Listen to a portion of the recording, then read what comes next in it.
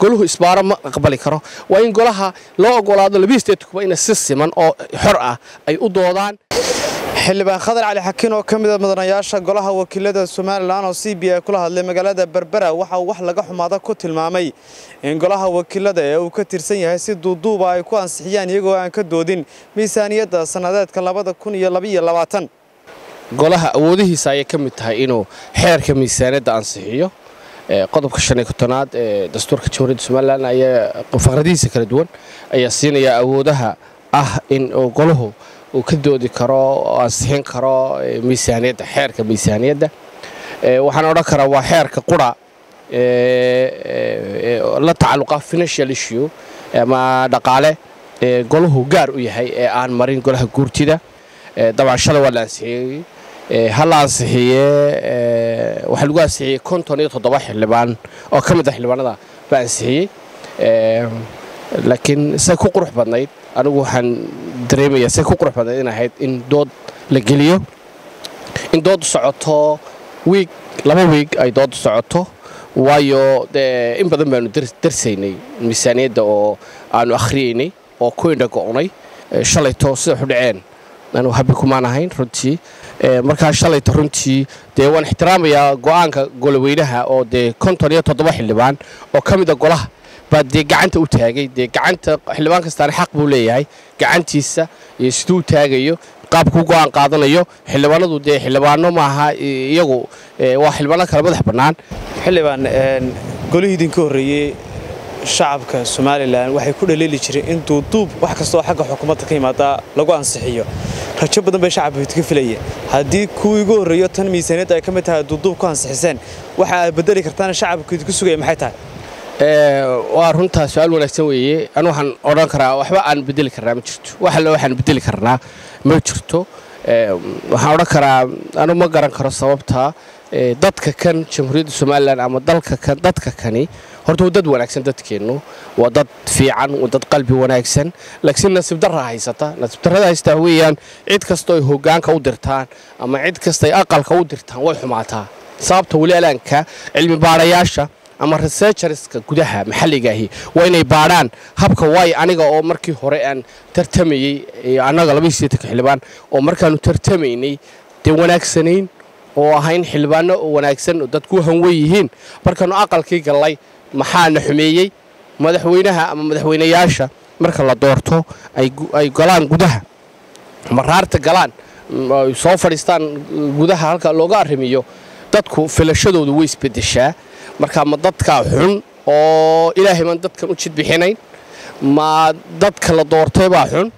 Mayaynu habaarannahay oo habaar guud bayna haysta anigu sababta aniga laftaydu waa isweydiinayaa dhinaca kale xildhibaan khadar cali xakiin waxaa ugu baaqay gudoomiyaha golaha wakiilada somalilan cabdirasaaq khaliif axmed inuu sharciga ku soo laabto islamarkaana uu weli fursad haysto.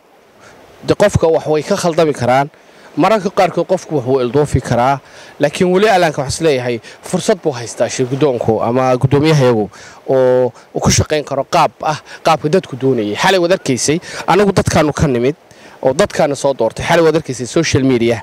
Dadku raalli waxay ku yihiin in wax walba la faaqido laga doodo oo la lafoguro oo markaa la iswadaariyo. Marka weli alaanka fursad buu haystaa guddoomiyuhu oo waxyaabaha ka khaldama ama waxyaabaha uu ilduufo uu ku sixi karo.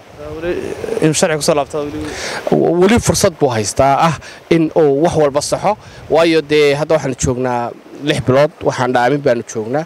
Marka weli wakhti buu haystaa guddoomiyuhu oo ku sixi karo wax kastoo khaldan oo golaa ka khaldan. Waxaanuna jecel lahay wax lala fuguray oo ah hadiian wax cunaha mari kara bulshadu liqi karto ka daadegi kara ku farxi karo inaanu mar walba bulshadii aan u soo bandhigno u keenno goluhuna wuxuu ku shaqeeyaa dhaqan laydhaaho culture laydhaaho go'aan gole oo habdhaqan goluu leeyahay ee habdhaqan ma laha habdhaqan xildhibaan. Habdhaqan xildhibaanaysan oo keligii ah habdhaqan gudiyeysan ma leh habdhaqan shirgudoonaysan ma leh. Macnaheedu waxa weeye shirgudoonku wuxuu jeergareeyaa go'aanka guud ee golaha.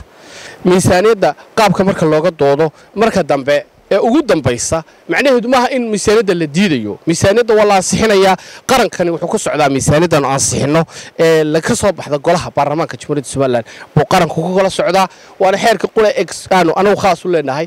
Saawgeed mar laba warka waa la ansixin lahaa miisaaniyadda laakiin dhibta jirta wax weeyaan dee dood lama ogolaan xildhibaanadu inay dood dee doodaan. Xildhibaan ka mida xildhibaanadu xildhibaan maxamed abiib dabcan wuxuu uu diyaarsaday doodiisa wuu diyaariyey wiigag badan buu diyaarinayey in badan buu la foguray dabcan waxay ahayd in loo sii daayo loo ogolaado inuu doodiisa dhammaysto bay ahayd oo loo sii daayo. Waayo macnaheedu ma aha doodda marka la jeedinayo in doodda gebigeeduba lagu wada daro miisaaniyaddii laakiin waxaan doonaynaa in shacbigu ogaado oo xog helo. Waayo shacbigu waxay leeyihiin xuquuq ah xuquuq helitaan xog right of getting information.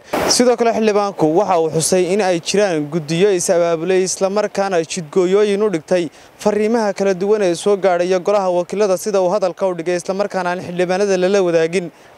Waxaa jira jidgooyooyin wax la yidhaha jidgooyo in ay ay isbaaro dhigtaan guddi ama cid isbaaro dhigato golahu isbaaro ma aqbali karo.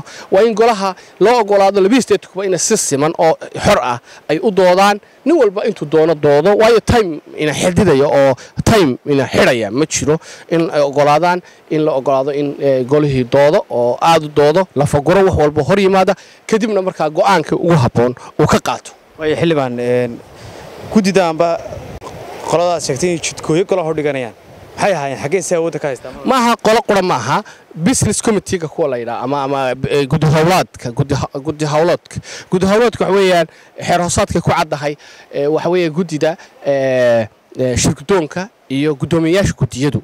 Mararka qaarkood ba waxa laga yaabaa inay shir galaan fariin ka timid golaha u timid golahu xaq wuxuu leeyahay fariin kasta ama wax kasta oo u yimaada ama xidhiidh kasta oo ay sameeyaan shirgudoonku ama dhaqdhaqaaq kasta oo ka dhaca golaha dhexdiisa in goloweynaha la ogeysiiyo oo lagu wargeliyo. Goloweynuhuna ka qaato wax la yidhaha go'aan gole. Oo dabciga goluhu ku shaqeeya ah go'aan gole go'aan qof maaha go'aan guddoomiye maaha go'aan shirgudoon maaha go'aan business committee maaha go'aan guddi maaha dhaqanka goluhu waa go'aan gole. Waxyaabaan codsanaya waxaa ka mid ahaa in soo dhammaystiro gaar ahaan degmada aniga layga soo doortay maydh ee dadkao dhanna ka wada jeedaan. Dabcan cid walba laga soo doorta dee madaxweyneba oo deegaankiisii oo dhulkiisii ku tafiirnaa iyo dadkeenoo dhan. Marka maydh kumaan arag miisaaniyada dowladaha hoose kuma jirto dabcan. Laakiin de waxyaabaa ka maqan baa jira oo ti dowladaha hoose inay hortimaaday ahayd. Taasna laakiin wasaaradda arrimaha gudaha iyo wasaaradda maaliyadda baan ka codsanayna inaanu iyadoo gaara helno la haydhaa ibrahim jokar c b a t v berbera